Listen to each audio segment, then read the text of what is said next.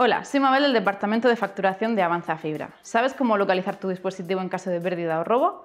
Si el teléfono es Android, lo único que tienes que tener en cuenta es tener activada la función de localización en tu dispositivo.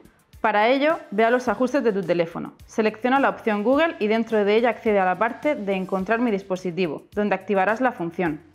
En caso de pérdida o robo, solo tendrás que acceder a Google con tu cuenta y teclear la frase ¿Dónde está mi teléfono?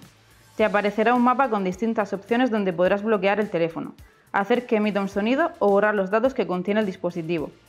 En el caso de que tengas un iPhone, solo tienes que abrir la aplicación llamada Buscar que viene preinstalada en, en el móvil. Una vez dentro, comprueba que está activada la opción Compartir ubicación. De esta manera, cuando quieras localizar o bloquear tu dispositivo, tendrás que entrar en icloud.com y desde ahí darle a la opción Buscar dispositivo. Ahora ya sabes cómo localizar o bloquear tu terminal. Muchas gracias.